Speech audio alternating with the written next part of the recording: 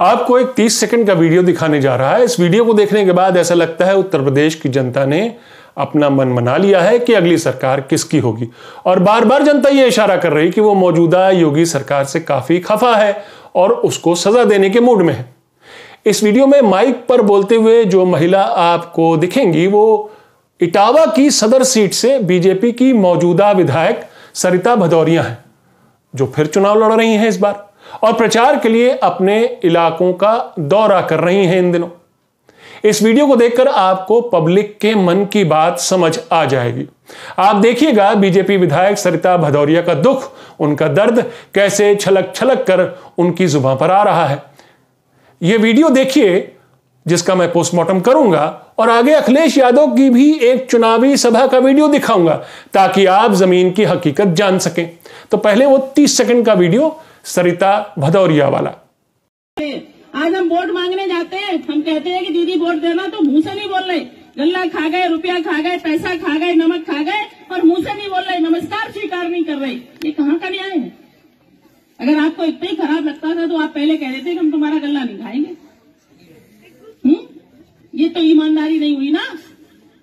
सब कुछ ले लिया। रुपया हमें मिले, गल्ला हमें मिले, सुविधाएँ हमें मिले, आवास हमें मिले, लेकिन जब हम वोट देने जाएँगे तो हमें ना राष्ट्रवाद दिखेगा। यह तीस सेकंड का वीडियो यूपी में बीजेपी की कहानी बयां कर रहा है। योगी सरकार के दमदार सरकार वाले स्लोगन को तार तार कर रहा है। बीजेपी विधायक सरिता भदौरिया का दर्द क्या है कि वो वोट मांगने अपने इलाके में पहुँची तो कोई ये आश्वासन देने के लिए तैयार ही नहीं है उन्हें कि वो उन्हें वोट देंगे। जनता तो अपने इस विधायक को नमस्कार तक नहीं कर रही। ये खुद विधायक साहिबा का रोना है। सरिता भदौरिया के तेवर बता रहे कि पब्लिक उनसे खफा है। लेकिन विधायक साहिबा का ईगो इतना बड़ा है कि वो वोट के लिए लोगों को अपील नहीं कर रही, बल्कि उन्हें डांट रही हैं, जता रही कि पब्लिक पर उन्होंने क्या क्या एहसान किए और अब टाइम है कि पब्लिक उनका कर्ज अदा करे। मगर इस छोटी सी सभा में, जो ज़ाहिर तौर पर किसी गाँव की सभा है, कोई कुछ नहीं बोल रहा है। मानो साइलेंटली ये कह रहा हो कि अब तो आपका जवाब हम पोलिंग बूथ पर देंगे। ये वीडियो सरिता भदौरिया के बारे में ज़रूर है, मगर ये एक वीडियो 30 सेकंड का ये एक वीडियो यूपी में योगी सरकार के खिलाफ लोगों के गुस्से की ओर इशारा करता है, एक साइलेंट गुस्से की ओर। नमस्कार, मैं हूँ आपका न्यूज़ बाज प्रभात शुंगलू। मेरा आज का सवाल, क्या यूपी की जनता में योगी सरकार को लेकर साइलेंट गुस्सा है जो वोटिंग के दिन निकलेगा? अपने जवाब हाँ या ना में ज़रूर दीजिएगा। सवाल यह उठता है कि पब्लिक ने अगर बीजेपी के खिलाफ मन बना लिया है तो पब्लिक ने अब किधर का रुख किया है? तो इसका जवाब आपको इस वीडियो में मिल जाएगा।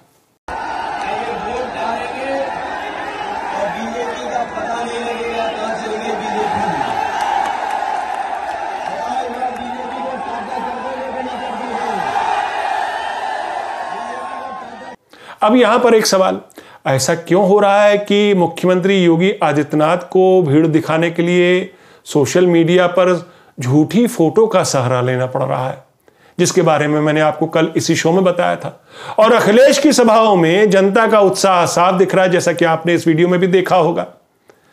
सरिता भदौरिया के इटावा में, जहाँ से वो चुनाव लड़ रही है सदर सीट से, वहाँ तीसरे चरण में, यानी 20 फरवरी को वोट डाले जाने हैं। 20 फरवरी को अवध के कुछ इलाकों में भी वोट डाले जाएँगे और पश्चिमी यूपी के भी इलाकों में कुछ वोट डाले जाएँगे, जिसमें फिरोजाबाद, मैनपुरी, एटा, इटावा और हाथरस भी शामिल हैं।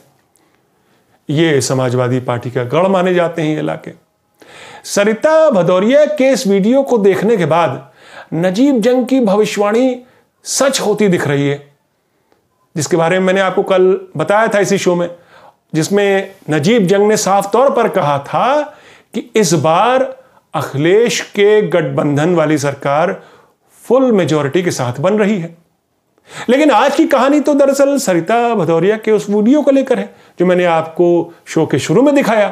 तो मैडम का रोना यह है कि जनता उनका नमस्कार तक स्वीकार नहीं कर रही। मैडम सरिता भदौरिया को ये इंसल्ट इतनी नागवार गुजरती है कि वो जनता को यहाँ तक कह देती हैं कि हमारा खाते हो और हम ही से मुँह फेर लेते हो। गल्ला खा गए, पैसा खा गए, नमक खा गए। खा गए से क्या मतलब है? क्या किसी का चुरा कर खाया? क्या जनता ने किसी का खेत लूटा? या फिर सरकारी खजाना लूटा? क्या रुपया या गल्ला सरिता भदौरिया का है? या उनकी पार्टी का है? क्या हमें और आपको कोई पार्टी खिला रही है, खिला सकती है? क्या इटावा की जनता सरिता भदौरिया का दिया खा रही थी?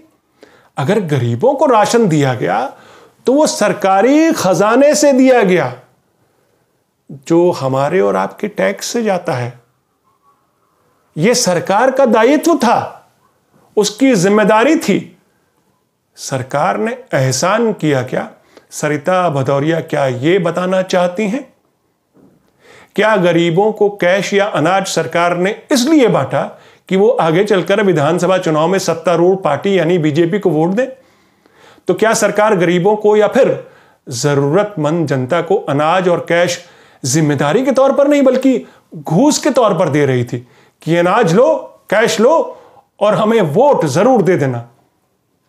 वैसे प्रधानमंत्री नरेंद्र मोदी से लेकर अमित शाह और योगी आदित्यनाथ कोरोना वैक्सीन मुफ़्त में दिए जाने को लेकर भी ऐसे डंका पीट रहे हैं। मानो राजा ये बताने की कोशिश कर रहा है कि जनता की भलाई के लिए उसने अपना पूरा खजाना खोल दिया हो, जबकि मुफ़्त वैक्सीन सरकारी खजाने से दी जा रही थी।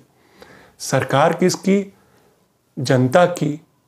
जिसे जनता ने चुनकर भेजा है और एक ज़िम्मेदारी दी है, सत्ता चलाने की चाबी दी है, सरकार को ज़िम्मेदारी दी है कि कब, कैसे मुफ़्त राशन देना है गरीबों को, ज़रूरतमंद जनता को कैसे दवाई देनी है, वैक्सीन देनी है।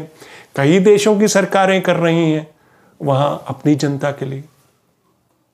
मुफ़्त कोरोना वैक्सीन या मुफ़्त अनाज का जितना डंका पीट लें मोदी, योगी सरकारें। लेकिन जनता ने तो लगता है अपना मन बना लिया है।